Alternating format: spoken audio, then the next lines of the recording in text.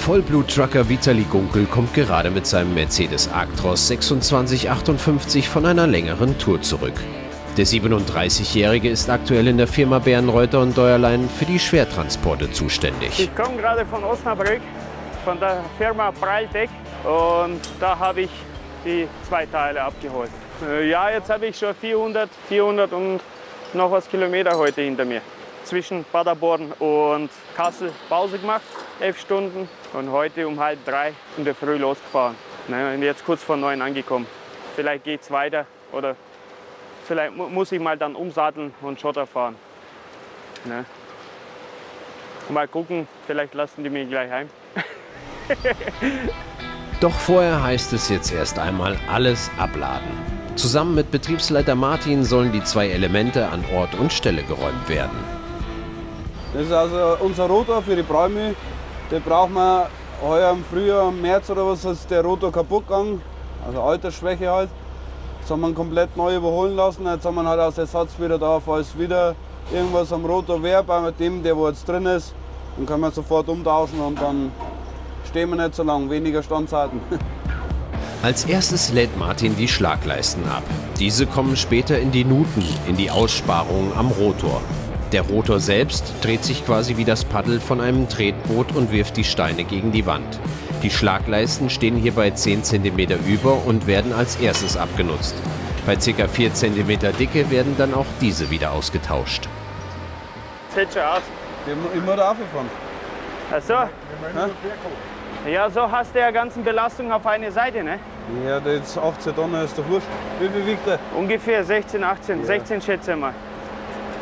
Schaffst du oder? 16 Tonnen ich ungefähr. Ja, sowieso nach rechts, wenn ich nicht nach innen. Also passt links. Passt links? Ja. Ja. wie du meinst, mach mal. Ja, kriegen wir schon hin. Ja. Stefan soll jetzt mit dem Lader diesen Hügel rauf, bis zum Lagerplatz auf der Ebene an der rechten Bildseite. Das Transportgerät der 988 KXE mit 588 PS und knapp 39 Tonnen Hubkraft. So. Gehst du von rechts nach unten oder gleich von unten nach? Von unten. Ha? Von unten. Nein, ich meine die linke oder die rechte Seite jetzt? Ich gehe von da. Von da, alles klar. So, ich hab's. Ich auch. Ja, dann soll er mal langsam heben. Warte mal, deine Kette muss man mal ein wenig gerade machen. Ist doch gerade. So, raus. So, dann gehen wir mal weg. Der Rotor ist fest, es kann losgehen. Rund 18 Tonnen und damit 120.000 Euro hängen jetzt gleich links an der Schaufel. Nach links zu mir schwenken, zu mir schwenken, dann macht ihr mein Bordband kaputt.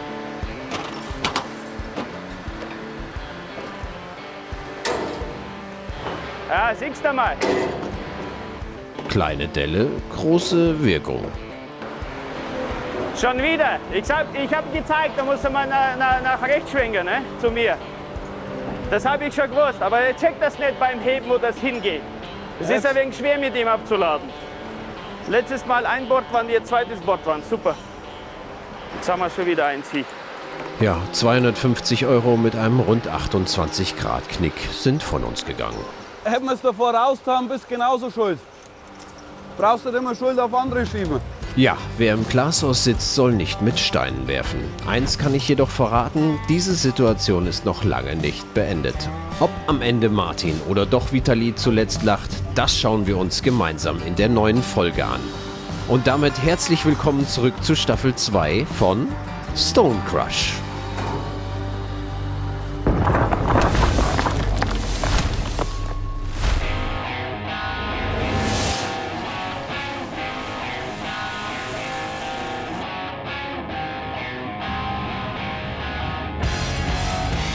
Den Anfang macht heute der jüngste Trucker in der Firma, Azubi Alex. Als erstes habe ich Elektriker versucht zu lernen. Hat jetzt nicht so gut funktioniert, weil es hat mir einfach keinen Spaß gemacht. Ich habe es drei Jahre gemacht. Ich hätte es auch zu Ende gemacht. Aber weil ich wegen Corona zwei Wochen nicht in der Vorbereitungskurs war in der Schule für die Abschlussprüfung, haben die gesagt, ich muss noch mal eineinhalb Jahre nachlernen. Und da habe ich gesagt, das mache ich nicht, tut mir leid, dann höre ich jetzt auf. Dann habe ich erstmal bei meinem Papa versucht, weil mein Papa Raumerstattermeister ist, also Polsterei. Aber das ist mir einfach, da habe ich die Kraft in den Händen einfach nicht, um den Beruf auszuüben. Und dann habe ich die ganze Zeit geguckt und habe gesagt, irgendwas, irgendwie Maschinenführer oder irgendwie sowas mal gucken. Und da bin ich auf Bärenreiter gestoßen und suchen LKW-Fahrer, habe ich gesagt, boah, das wäre es doch mal. Und da habe ich ausprobiert, Praktikum gemacht und das hat mir echt Spaß gemacht und jetzt bin ich im zweiten Lehrjahr. Auf jeder Tour immer mit dabei ist auch sein kleiner Talisman. Das ist mein, mein, äh, mein Po, ein Kung Fu Panda, weil Pandas in Asien passt und weil mein kleiner Bruder noch den Po hat, mir, habe ich so gedacht, so Michi, gib mir jetzt den Panda, der passt zu mir. Und jetzt habe ich den Panda als mein Kuscheltier, Maskottchen im LKW, weil es auch einfach passt zum Namen, der Panda. Viele sagen auch, dass ich ein Panda bin, von der Konstruktion her. Und finde ich aber auch cool. Deswegen habe ich jetzt einen Panda drin und ja, hab Freude dran. Mit seinem Arctros 1844 und einer Ladung 032 Frostschutz geht's heute nach Neumarkt. Er fährt sich gut und da kann man nichts sagen. Ist halt, ja gut, er ist ein bisschen altmodisch, aber er hat Klima, er hat Tempomat, er hat äh, Berganfahrhilfe, er funktioniert, er läuft super. Sonst gut, ja. Wenn ich jetzt, ein, wo ich ein neueres Fahrzeug mal gefahren habe, ist auch schön. Was mir halt einfach sehr fehlt, ist die Rückfahrkamera. Wegen beim Mischgutfahren zum Beispiel oder allgemein Rangieren, dass ich auch hinten gucken kann. Und so ist das mit den Spiegeln für mich halt auch ein bisschen schwieriger. Aber sonst doch. Ich freue mich immer mehr an mit dem, mit dem Gerät und der macht schon Spaß zum Fahren. Also Er ist halt schon gut, gell? Doch die Lieblingsmarke ist eine andere. ja, MAN, muss ich ganz ehrlich sagen. Weil ich bin vorher war ich, habe ich mal den neuen Mercedes gefahren und hat sich gut gefahren, ja. Aber dann wollte ich halt schon immer mal MAN selber fahren. Ich war immer mal mitgefahren beim MAN und hat mir echt gefallen, die Ausstattung und so. Und dann durfte ich mal drei, drei Wochen durfte ich ein MAN fahren. Es regnet. Und da war ich echt begeistert und habe gesagt, doch, wenn ich mal ein neues Auto kriege oder ein eigenes Auto kriege, äh, dann würde ich ihn immer entnehmen, ja. Und ja, die Anna hat mich gestern angerufen, dass ein MAN frei ist. Da hat sie gefragt, ob ich den möchte. habe ich gesagt, sehr gerne. Und jetzt freue ich mich schon drauf. Nur jetzt sind die Wochen, bis ich ihn kriege, natürlich sehr Geduld gefordert, die ich eigentlich nicht habe. Aber es nützt nichts. Tja, eigener Truck, eigenes Laster. Äh, eigener Laster? Nee, eigenes Laster, ne? Ja. Im Auto zum Beispiel, ne, der LKW bei mir, also ich, ich brauche ein sauberes Auto. Ich kann das nicht. Ne? Wo ich hier vor, äh, als erstes mal drin habe ich gesagt, um Gottes Willen sieht der aus. Da geht nicht, kann ich nicht. Das halte ich nicht aus. Habe ich ihn erstmal sauber gemacht, dann immer schön äh, Staub gewischt. Und das mache ich jetzt mit meinem Privatauto auch. Und mit, von meinem Papa das Auto. Da sagt er immer, ach, das sieht aber jetzt wieder schön aus. Ich gesagt, ja. Weil ich kann das einfach nicht. Wenn irgendwo Staub ist, das kann, kann, kann ich nicht. Das, Also Putzfimmel hast du. ja, habe ich jetzt gekriegt, wo ich jetzt Ecke gefahren bin, weil es ist halt einfach schön sauberes Auto. Es ist halt einfach, sag ich mal, wieder ein zweites Zuhause. Da muss gepflegt sein. Da, da kann jetzt nicht da so hoch Dreck sein oder, oder überall Krümel oder klebrig oder weiß was ich, weil das geht nicht. Das ist eigentlich das, eigentlich das Einzige, was ich gekriegt habe. Das ist dieser Putzfimmel.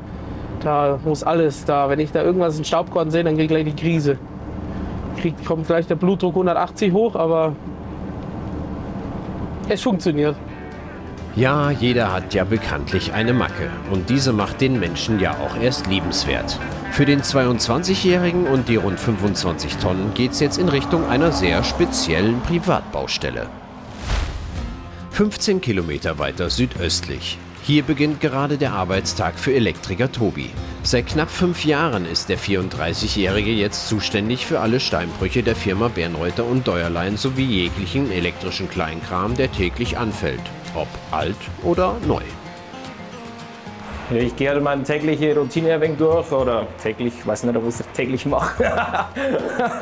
ähm, wir haben letzte Woche ein bisschen Probleme beim Drehwächter gehabt. Also sprich, wir überprüfen, ob die Bänder sauber laufen, weil wenn das unterm Lauf, Laufen äh, reißt zum Beispiel, dann kann es ja passieren, dass oben die Welle leer durchgeht und das, der Gummi fängt Feuer. Und da schaue ich halt jetzt die Drehwächter durch, ob die sauber laufen, weil letzte Woche, wie gesagt, hat so ein Rad ein bisschen einen Dreck gefressen, sagen wir dazu. und, aber es schaut ganz gut aus jetzt. Also wir sehen jetzt hier zum Beispiel, ähm, das ist so ein sogenannter Drehwächter, wenn wir gerade schon gesagt haben. Das Band läuft jetzt aktuell mit 33,7, 33,6 Umdrehungen. Wir überwachen nach unten, also nach oben. Wenn er jetzt praktisch zu schnell, haben wir ja beim Förderband nicht. Und bei unter 25 Umdrehungen, wenn wir praktisch kommen würden mit unserem Sensor, dann wird, wird die SBS hier die Meldung bekommen, okay, ich bin zu langsam, irgendwas stimmt mit dem Sensor nicht oder mit dem Band dann wird man das einfach mitbekommen und wird man dementsprechend abschalten. Ja, und jede Stunde Stillstand kostet die Firma gleich mal einen fünfstelligen Betrag. Ja, das ist halt einfach eine speicherprogrammierbare Steuerung. Äh, da hängt man seinen Laptop hin und dann kann man die ganze Anlage dementsprechend programmieren und parametrieren. Teilweise Anlagen mache ich selber, aber jetzt so Siebanlagen, Verladung, vergeben wir alles. Also das sind, wie gesagt, die ganzen Signale von unserer Steuerung. Da sehen wir die ganzen Eingänge von dem Schrank, also sprich Motorschutzschalter hat ausgelöst, äh, die Rückmeldung vom Schutz, ob das Band läuft oder nicht äh, und die Ansteuerungen dementsprechend, dass es angesteuert wird, dass es laufen soll. ich messe jetzt einmal den Ausgang, ob der jetzt sauber läuft. Was muss der anzeigen? 24 Volt, flackert nichts, passt. Das müssen immer 24 sein? Also 24 Volt Gleichspannung ist halt so die Steuerspannung für uns. Genau. Weil die SBS, gut, es wird auch 230 Volt äh, Relais Module geben, aber wir haben halt alles auf 24 Volt. Äh, passt. Kontrolle erfolgreich beendet. Auf zur nächsten Aufgabe und die lautet bei Kollege Gregor nach dem rechten Sehen denn der bereitet einen Teil von Tobis erstem Großprojekt vor. Und Gregor, alles gut? Alles gut. Alles gut. Das wird jetzt unser Hauptverteiler für die äh, Photovoltaikanlage in Lauber, weil wir bauen an die Fassade und aufs Werkstattdach eine PV-Anlage.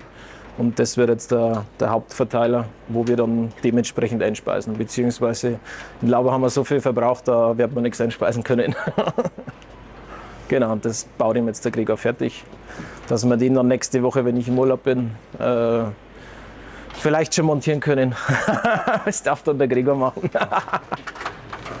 Gregor, vielleicht hilft der Martin, mal schauen. Aber in einem Steinbruch braucht man eigentlich keinen Elektriker, heißt es immer. Weil es gibt ja noch Steine.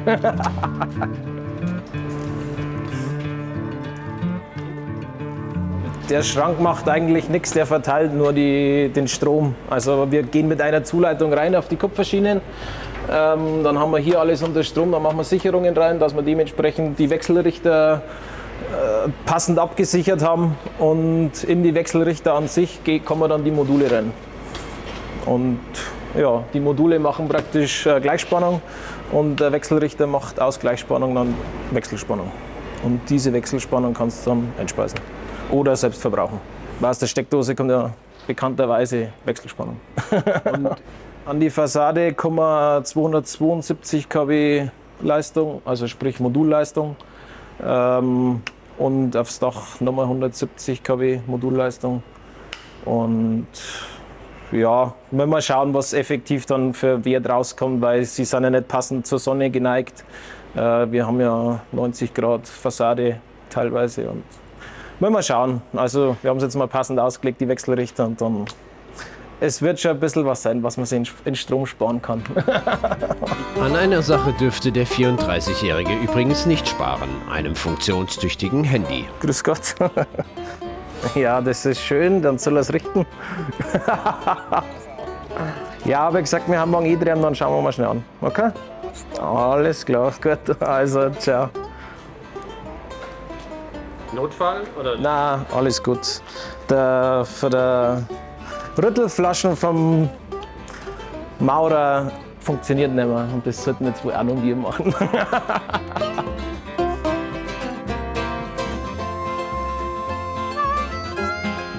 Also Lieblingsarbeit, was ich natürlich mein Meister gemacht habe, ist Programmieren, SPS programmieren. Das gefällt mir halt einfach unbandlich gut. Ähm, mache ich ja gern. Aber für uns, wir haben es letzte Woche zufällig bei uns hinten, haben wir, wenn wir ein Problem gehabt haben, haben wir gesagt, eigentlich ist scheißegal, was du hast, man hüpft zusammen und dann ist auch Scheißarbeit schnell einmal erledigt. Von dem her, mei, man muss machen, man hüpft zusammen und dann passt es wieder.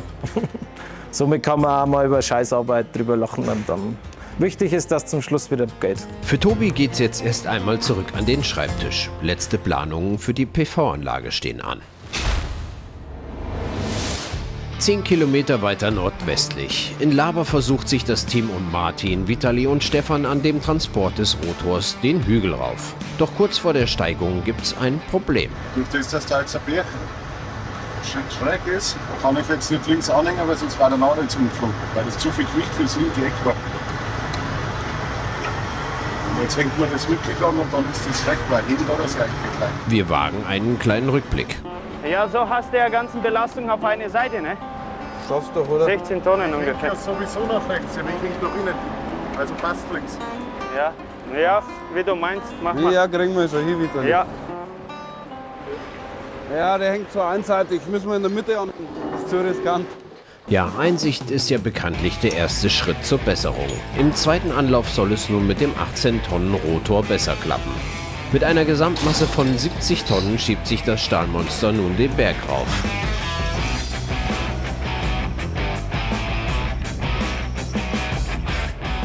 Und während das Gespann am Bestimmungsort angekommen ist, kümmert sich Vitali um den zweiten Rotor auf dem Multimax Satteltieflader. ich habe jetzt soweit schon alles fertig gemacht. Wie gesagt, muss man nur noch das Teil runterheben, Kannhölzer aufräumen und dann bin ich fertig. Doch bevor die nächste Fracht an den Lader angehängt werden kann, muss Vitali noch etwas klären. Habt ihr mir nicht geglaubt, ne? Gleich in die Mitte setzen, hat's nicht funktioniert. Ja, Genugtuung, Erfahrung, Zickerei. Von allem ist etwas dabei. Ah, jetzt hat er gesehen, jetzt passt.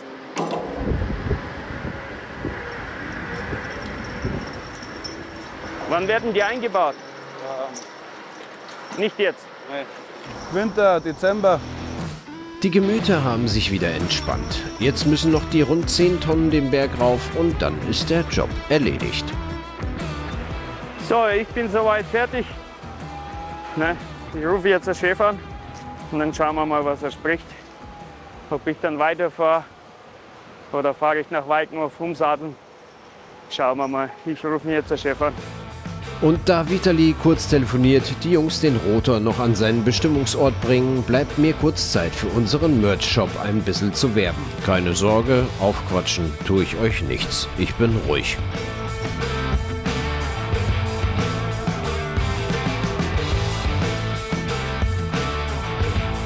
Die letzten Zentimeter, dann ist auch der zweite Rotor an Ort und Stelle. Passend dazu gibt's auch eine letzte ehrliche Bewertung von Martin. Ging gut? Ja.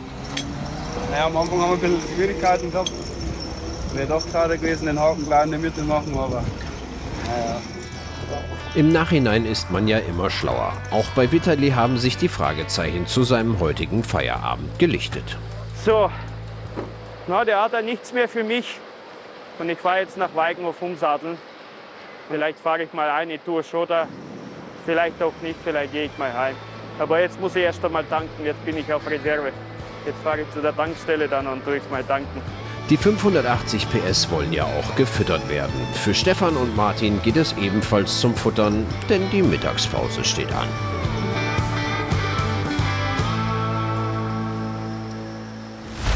Jungtrucker Alex ist bereits auf den letzten beiden Kilometern bis zur Baustelle. Er hat ein eher ausgefallenes Hobby. Ja, zum Beispiel Airsoft spielen ist so meins, wo ein schönes Hobby ist.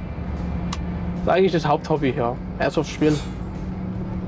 Das ist eigentlich Ausdauer, sportlich und Gemeinschaft. Das ist immer, das passt. Airsoft, hast du so eine komplette Ausrüstung oder was? Ja, ja Uniform, Helm. Oh, da habe ich das Ganze, oh, das habe ich ja schon, wo ich beim Elektriker war, habe ich eigentlich, wo mein Gehalt gekommen ist, weg und für Airsoft gekauft. Ah, viel zu viel Zeug. Mm. Sehr geldintensiv, dieses Hobby. Aber Gut, ich habe jetzt lange nicht mehr gespielt. Muss ich mal wieder. Weil, ja, das ganze Geld, sage ich jetzt mal, steckt jetzt da drin. Und ja, aber demnächst spiele ich wieder. Muss ich wieder. So, machen wir jetzt da rein. Ja, das passt ja. Äh, das ist jetzt noch 250 Meter und dann links. Also wahrscheinlich ja, Ende der Straße. Apropos Baustelle. Alex hat dann meist, wenn es dort mal nicht so läuft, wie es soll, ein Ass im Ärmel. Denn dann nutzt er die gesellschaftlichen Vorurteile zu seinen Gunsten. Es ist halt einfach lustig, wenn da immer kommen und sagen, hallo, ich bin Asiate, äh, wo muss ich hin? Weil du, ich habe immer nur Küche geholfen, immer nur Nudeln, aber ich weiß nicht wohin. Oh, nicht gut. Nicht gut. Wollen 5 Kilo Fischfleisch? Ja, haben, ja. Damit sich hier keiner echauffiert, das Wort, das Alex gerade sagte mit dem Viehflei heißt Fischfleisch, da man das Sch in der Landessprache nicht aussprechen kann und das versicherte uns wiederum Alex nochmals. Nach einem kurzen Slalom heißt es nun Kippstelle finden. Ich warte mal, Falle. So, wo Lein? Da, nein? Da allein. Jetzt Lein. Oh, oh, oh, hallo Kollege. Wo haben wir den? Oh, Niki Ja, und das ist die Baustelle. Es wird eng, ja. Ich muss sagen, wird eng. Das wird sehr eng, ja. Der Arctros ist übrigens kein Allrad und das ist nicht einmal das einzige fehlende nützliche Feature. Keine Servo, das Ding ist auch nicht so äh, schön. Machen wir mal nicht Servo. Ein bisschen wendige, ein bisschen doof.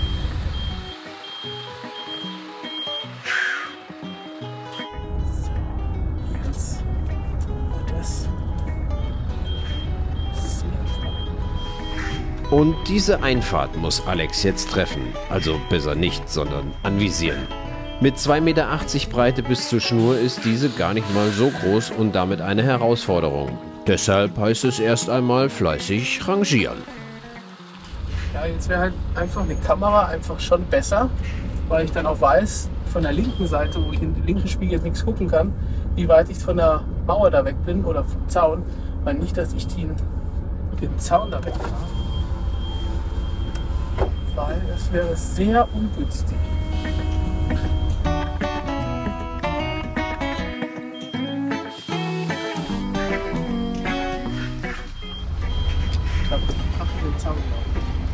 Ja, und damit das nicht passiert, heißt es nochmals ansetzen und Alex erhält sogar Unterstützung.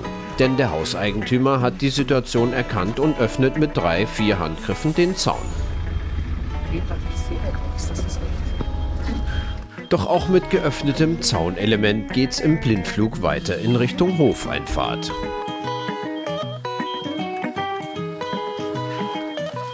Nach einer weiteren Minute steht Alex dann drin.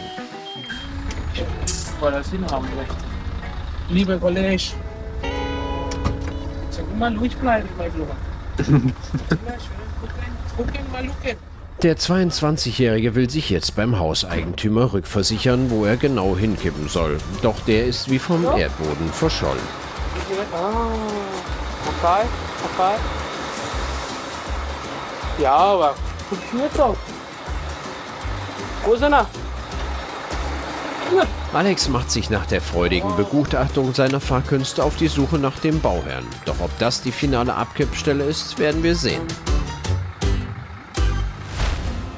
700 Kilometer weiter nördlich an der Nordsee. Hier in Bremerhaven liegt die VB Geste am Pier. Zu ihren täglichen Aufgaben gehört, Containerschiffe an Kai und vor allem Autofrachter in den Hafen zu ziehen. Das Besondere heute, die Crew um Kapitän Kai erwartet einen Stone Crush Auftrag. Also angefangen habe ich damit, dass ich erstmal große Fahrt gefahren bin, erst auf Stückgutschiffen, dann auf Containerschiffen, zum Schluss auf Forschungsschiffen und dann äh, wollte ich Familie gründen, öfter zu Hause sein und bin deswegen zur Schlepperei gekommen und musste feststellen, dass das auch sehr interessant ist und bin da auch jetzt so seit über 20 Jahren da geblieben und bin froh darüber. Doch ein Kapitän auf hoher See ist nicht gleich ein Schlepperkapitän. Es erfordert einiges mehr als nur ein Patent. Als Kapitän fahren zu können, äh, muss man natürlich auch Befähigung dazu haben, die Antriebe zu benutzen. Da muss man auch erstmal eine Ausbildung machen, dass man sich mit den, äh, den Möglichkeiten des Schiffes, dass man die erstmal alle kennt. Und als Schlepper fährt man an Gefahrensituationen so dicht wie möglich ran. Nicht so wie andere äh, Schiffe, die versuchen, so weit wie möglich von jeder Gefahrenstelle wegzufahren. Wir mit den Schleppern fahren genau dahin, wo es gefährlich ist. Und da sollte man schon wissen, was man tut, wie man die Antriebe stellen muss, dass man sich retten kann. Und das ist auch das, was wir hier äh, unseren Steuerleuten versuchen beizubringen. Die Geste ist übrigens einer von 90 Schleppern der Firma Boluda, die in Europa stationiert sind. Wenn das Schiff zur See gehen sollte, dann sind normalerweise sechs Mann an Bord, dass man immer zwei Wachen besetzen kann. Jetzt fahren wir mit einem Steuermann noch zusätzlich, das heißt, wir sind zu viert. Ja, das normale Hafenbesatzung, der Bootsmann an Deck, der Schief in der Maschine und der Kapitän, der halt den Schlepper fährt und die ganzen Papiere erledigt und ja, die Verantwortung trägt. Den langweiligen Job hat. Den langweiligen Job, genau. Und damit es für die Crew auch keine Langeweile gibt, wird diese öfter neu zusammengewürfelt. Der Sinn, Erfahrungen und Wissen zwischen Jung und Alt austauschen. Das ist ein ähm, Rotortag-Schlepper. Und Rotortag bedeutet der drei Antriebe. Das sind hier äh, 360 Grad drehbare Gondeln. Das sind unsere Antriebe, mit denen wir auch steuern. Und davon haben wir drei, zwei im vorderen Drittel, eine im achteren Drittel in der Mitte. Ja, und damit fahren wir. Und da muss man dann halt aufpassen, dass man immer nur mit zwei fährt, weil man nur zwei Hände hat. Wenn man mit drei gleichzeitig fahren will, dann kommt man schnell durcheinander. Das heißt, man fährt entweder über Kreuz, Manöver, oder aber mit den beiden vorderen und den dritten nimmt man dann einfach immer nur zur Unterstützung. Unterstützung meine ich jetzt damit, dass äh, entweder du brauchst Speed, das heißt, du musst dann schon alle drei Antriebe nehmen, um die Geschwindigkeit zu erreichen. Oder aber, wenn du antauen willst, das heißt, wenn du Kraft auf die Leine geben musst, dann musst du auch mit allen drei arbeiten, um vernünftig Kraft zu kriegen. Du hast drei Antriebe und die Kraft von allen drei Antrieben, die macht erst die Power von den Schlepper. Die Geest ist 28 Meter lang und hat einen Tiefgang von ca. 6 Metern. Unter der Wasseroberfläche befindet sich das Herzstück des Schleppers und damit der Arbeitsplatz des Chiefs. Zu unserer rechten, zu unserer linken, als auch in der Mitte Achtern befinden sich unsere Hauptantriebsmotoren, sogenannte ABC-Motoren. Also ABC ist der Hersteller. Und jeder Motor hat 1760 Kilowatt Leistung. Bedeutet, mal 1,36 sind 2400 PS pro Motor. Also zusammen hat die Geste jetzt nur Antriebsleistung ca. 7200 PS. In die Geste passen rund 70.000 Liter Marinediesel. Also es ist ein konventioneller Motor. Das ist ein rein Achtzylinder und ähm, hier hast du halt klassisch Pumpe-Düse im Grunde genommen. Du hast die Einspritzpumpe und oben die Einspritzdüse, ja. Die Einspritzpumpen sitzen hier, ja. Dementsprechend sehr verlässlich. Also es ist nichts Überzüchtetes. Diese Motoren sind einfach grundverlässlich. Mein Job ist, ich bin für sämtliche technischen Abläufe und sämtliche Aggregate, die hier an Bord sind, zuständig, verantwortlich. Also für deren Wartung, für deren Betrieb, ja, deren Überholung, Koordination mit der Inspektion, wenn Sachen ausfallen, Ersatzteilbestellungen, Beratung des Kapitäns bei Schäden, die wir feststellen und so weiter und so weiter. Im Motorraum steigt das Thermometer auf über 40 Grad und draußen so langsam die Spannung. Und wenn es am schönsten ist, soll man ja bekanntlich aufhören. Ne? Und das nächste Mal bei Stone Crush. In Neumarkt entsteht zwischen Elias und mir eine gepflegte Unterhaltung. Du kannst ja gern selber reinhocken und selber mal das, das, das Zeichen machen. Schau mal, wer, wer das besser kann, du oder ich. Nebenan auf der Privatbaustelle geht bei Alex gar nichts mehr. SOS? Asiate in der Not? In Bremerhaven, ja, keine Ahnung, wie ich das jetzt sagen soll. Ob jetzt Wasser aus deiner Kanone kommt oder es kommt Schaum raus, das kannst du nicht sehen. Also du siehst da keinen Unterschied. Das ist beides weiß. Richtig. Und in Laber hat sich Stefan der Betriebsfeuerwehr angeschlossen. Und dann habe ich mir den Schlauchmagen machen lassen. Ob es für ein A, B oder C-Rohr gereicht hat, das schauen wir uns in der nächsten Folge an. Bis dahin, tschüss.